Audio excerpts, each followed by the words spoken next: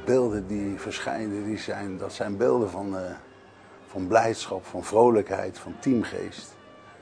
En ook van eh, teleurstelling, omdat we dus eh, na een hele goede voorbereiding de eerste wedstrijd verloren. En we wisten natuurlijk niet echt waar we aan toe waren. We hadden wel hele goede spelers.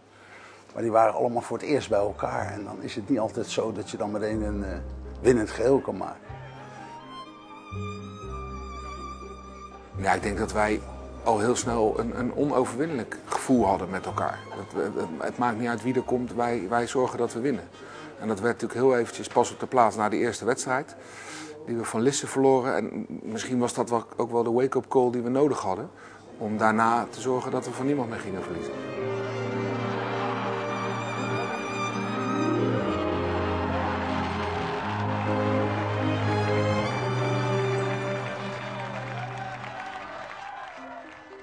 Het uh, meest bijblijft zijn toch de wedstrijden tegen IJsselmeervogels, waar we gelijk een rode kaart kregen en toch ineens, ik meen zelfs de tweede wedstrijd was het, 3-0 wonnen. En dat was natuurlijk heel gek. En uh, de wedstrijd bij Katwijk, beste club van Nederland zo'n beetje in die tijd, met, uh, met Langeveld en met de Ridder bijvoorbeeld. En met Zwaan, ook een van de beste spitsen toen in die tijd. En die wonnen we ook op ons gemakje met 3-0.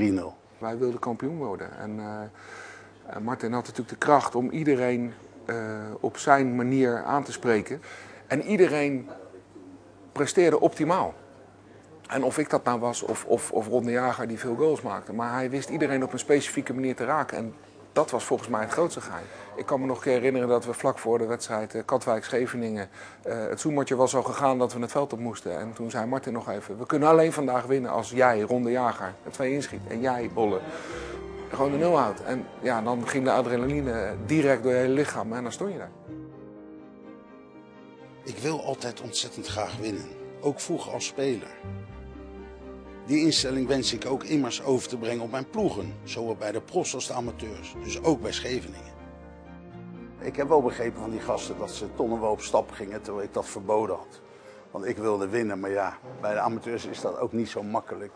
En ik had het altijd het idee dat ze naar huis gingen, maar ja, dat bleek achteraf ook niet zo te zijn. Maar toch uh, waren ze altijd zo gemotiveerd. En ik kan me ook niet herinneren dat we gasten hadden die trainingen verzuimden. Iedereen waste altijd.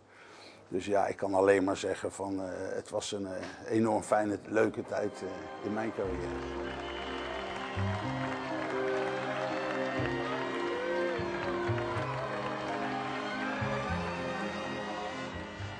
Sprak van de week een mevrouw, ik denk dat ze 2 of 33 was, en die herinnerde zich dat team. En die was hier, toen ze 9 of 10 was, stond het meisje hier met haar vader te kijken. En dat vind ik wel bijzonder. Ja, ik denk dat, uh, en tenminste, dat denk ik niet alleen, dat dat elftal was uh, waarschijnlijk het beste amateur elftal wat er ooit geweest is in Den Haag.